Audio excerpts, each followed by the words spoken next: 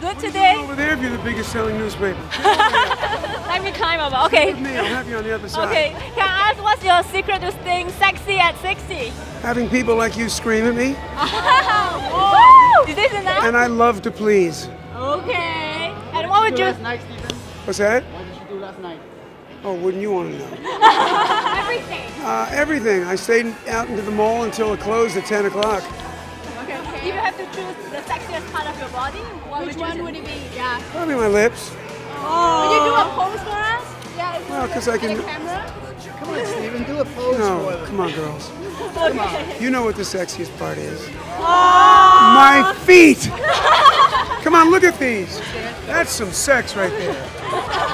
Wow. See, I told you. Yeah. Okay. The sexiest part of my body is my band Aerosmith.